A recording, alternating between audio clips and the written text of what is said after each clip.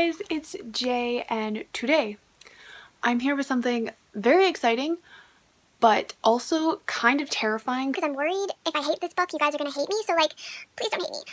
But I asked you guys on Twitter if you would be interested in coming along with me for my first time ever reading Are you ready? Are you ready? Are you Harry Potter by J.K. Rowling. Yeah, I'm 21 years old and I've never actually read Harry Potter. I've seen all the movies, like I know what's happening, and I know the storyline, but I've never actually read the book. So everybody says I need to read the book, so today is the day. It is happening. Totally just gonna have spoilers in this because like everybody and their mother has read Harry Potter. So realistically, you all know the storyline and it won't be any fun if I can't give any spoilers and my genuine reaction to them. So, spoilers ahead. If you haven't read Harry Potter, then don't watch this video. If you have read Harry Potter, then you can watch it and uh, see my first experience. So, I'm gonna go read, and we're gonna we're gonna come back when I have something to say. It's like 40 minutes later, and I just finished chapter three. I have one complaint about this book right now. One complaint. That's it. That's pretty good for me. In the book, it says that Harry has strikingly green eyes, but in the movie, which is what I've seen, so that's like who I picture are the characters from the movie, okay? Daniel Radcliffe as Harry Potter, he has brown eyes. So, one of you, J.K. Rowling or Warner Brothers, I don't know who produces it, one of you is lying to me. Which one is it? I would assume it would be Warner Brothers because J.K. Rowling wrote the book, but like, why didn't you put contacts into little Harry's eyeballs to make them green and not brown? See, these are the things that bother me. Stupid, I know, but like, it bothers me so much because all in my head when I'm reading, I'm like, the lies. There's so many lies right now. I just, I can't. Other than that, I'm enjoying it. It's entertaining. I hate the Dursleys, which I'm assuming is a point, but like, I just want to strangle them and I just want to give little Harry Potter a little hug. So I'm gonna go read some more and I'll come back when I'm done. Well, not when I'm done, but I'll come back when I've read more and uh, tell you my thoughts on the next chapters.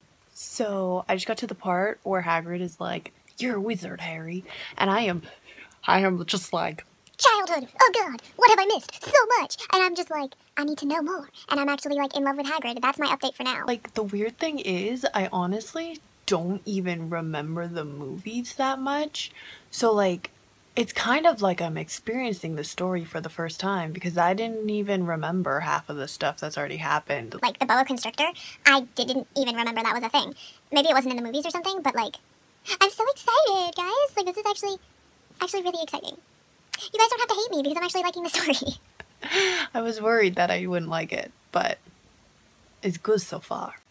So I just finished chapter 5, which is when Harry gets Hedwig. Why I didn't know that Hedwig was a girl, I don't know. I always assumed that it was a boy. But no, Hedwig is a little girl owl. Just finished chapter 6, which is the journey from platform 9 and 3 quarters. Honestly, the entire time I was reading about it, about how like Harry has to run into the wall to get to the platform, I was just thinking about how funny it would be if he smashed into it. Is that bad? I feel like that's bad, but I was giggling. It mentioned Hermione, and I just want to say, like, Hermione kind of bothers me. Like, I feel like maybe it's just because it's the first time meeting her, but she's kind of annoying. And I feel like I just haven't got to the part where she becomes like the great Hermione that everybody loves. But like right now, I ain't liking her. I'm sorry, unpopular opinion. And Draco, I hate so far. He's kind of a little snob, and I want to like punch him in the face. When Scabbers, Ron's rat, like attacked them, I was like, get it, Scabbers, get it. And I was so happy about it. And Neville is also kind of annoying right now. He's like crying because he lost his toad. Like, just keep track of your toad, man. Or don't get a toad, because like why would you not get a cat if you could? I'm just saying. And they just arrived at Hogwarts and I'm super excited because Hagrid's back. I love him so much. And they're doing the sorting hat in the next chapter, which means I actually get to figure out what the houses mean because I literally still have no idea what they mean. I asked on Twitter what house you guys thought I was in and most of you said Hufflepuff. And I don't know means, but I'm hoping it's a good thing. I want to be a Slitherpuff because I just want to be called Slitherpuff.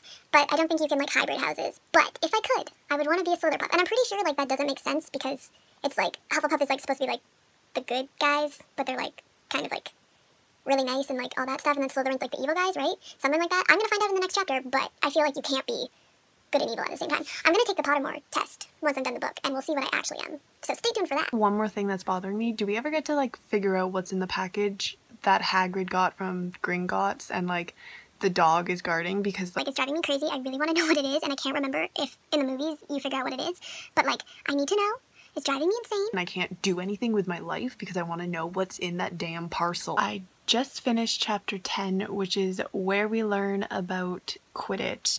So I'm like really excited because now I actually understand all the positions and stuff. So when people are talking about it, because everybody talks about Harry Potter and they always talk about like what position they are in Quidditch and the rules and all that stuff, and I literally have no idea what they're talking about. So now I can be like, me and you, I, I understand you. I know what you're talking about. I now know the rules of Quidditch, so that's one bonus of this experience.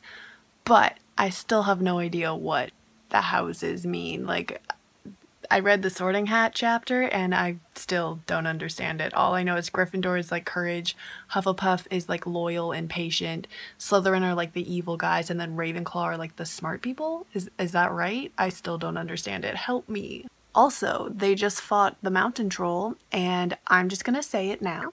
I wish that it had eaten Hermione. I'm sorry, still an unpopular opinion, but I still don't like her. I find her so dang annoying, and I'm just waiting for the moment where I actually like her because I'm assuming that that's gonna happen because like everybody loves Hermione. So I don't know if it's gonna be in like the second book or the third book or something. But as of right now, still don't like her. Still really annoying. I'm sorry that I'm not sorry about it. But like kudos to her for like getting Ron and Harry out of trouble. Like that was cool, but like still don't like her that much. So I just finished the Quidditch chapter. One, Snape's an asshole. I hate him. I don't know what his whole story is. Because honestly, I don't remember the movies anymore. So like, I don't remember why he doesn't like Harry. But like, what an asshole. Two, I like Hermione a little bit more now when she like lit Snape on fire. Like that was kind of cool. And then three, who the heck is Nicolas Flamel? I don't remember him at all. So like, what does he have to do with the package? And also, what is in the damn package? And also, I love how the dog's name is Fluffy. That's amazing. And I love how it's Hagrid's because Hagrid's my bae. I feel so stupid right now because I finally figured out what's in the package. Obviously, you know, it's the Philosopher's Stone. Because it's called Harry Potter and the Philosopher's Stone. Why? This did not clue into my head. I don't know. But the concept of a Philosopher's Stone and how it's like makes you immortal and stuff, that's cool. I never knew that that was a thing. They just got rid of Norbert, Hagrid's dragon. And I'm really upset about it because I want to see more Norbert. And the fact that its name is Norbert makes me happy. It's so cute. And we now know who Nicolas Flamel is. And I feel like a 600 year old wizard would be dead by now. So, like, he must have the Philosopher's Stone or like a concept like the Philosopher's Stone. Am I wrong? I don't know. But, like, he's 600 years old. So he's got to be immortal by now. Because, like, that's old as shit.